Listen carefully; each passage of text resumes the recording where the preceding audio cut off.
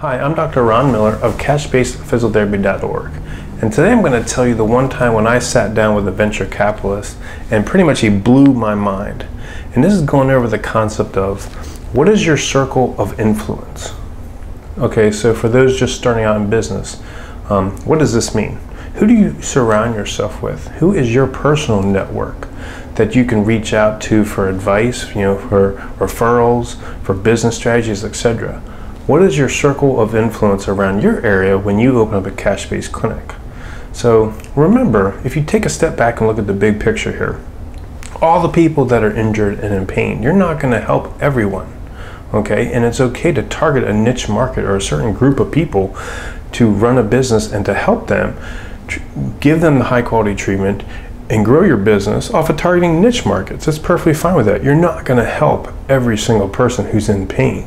Okay, so the next step is, you know, what is your circle of influence or who do you surround yourself with as you're opening up your business? And when you own your business um, and it's growing and thriving, you know, you're now an entrepreneur or a small business owner. Okay, so you have to start thinking and surrounding yourself with other successful businessmen and women, CEOs, entrepreneurs, and picking um, ideas off of them. I'm actually creating a, a young entrepreneur CEO group um, in like the Orlando area, and I'm surrounding myself with some great people. I have a great idea with this, so we're going to create an exclusive young entrepreneur CEO group and just run ideas and kind of like a mastermind group, and meet maybe every quarter or so and kind of challenge each other to grow each other's business and problem solve. But anyway, who is your circle of influence? Okay, and you may not realize this until you all of a sudden help this CEO or entrepreneur who's very, very successful, and then the doors are going to open up because he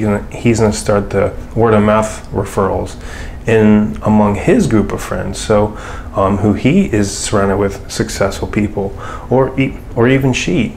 You treat someone who knows a lot of people around your area, your circle of influence is just going to grow, exponentially as soon as you help that one person who knows like everyone around you or the owner of this company. And then you know my recommendation is this too. Take full advantage. If your patient is a ceo or is a owner of a business take full advantage of that. Ask them questions. Take them out to lunch.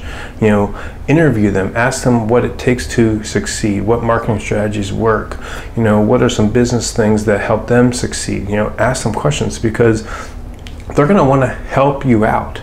And a perfect example of this is I had a patient who I helped out a lot. Her husband was a CEO and a venture capitalist. And he was willing to take an hour of his day. Who knows how much he would have really charged me. He came in and he let me interview him for an hour. And it absolutely blew my mind. Unbelievable. It just got me thinking. After that hour, I was so mentally fatigued it was unbelievable. So I learned a lot from that session. But the thing that blew my mind, which was, he was like, Ron, I don't care if the economy is good or bad. I was like, hmm, okay, what do you mean by that? He's like, well, if the economy is thriving and things are going good, I have my venture capital firm and we invest money and we make, make money from that. If the economy is down and bad, he has a consulting firm where he invests in small businesses to help them overcome a bad economy or a struggling time. So whether the economy is good or bad, this guy is still designed a way that he's still making money. And it just blew my mind and I was just fascinated by this. So um, that's my story about, I mean, there was many more questions that that I asked, and you know he even put me in my place a couple of times and called me out, which is good because we need that as a small business owner.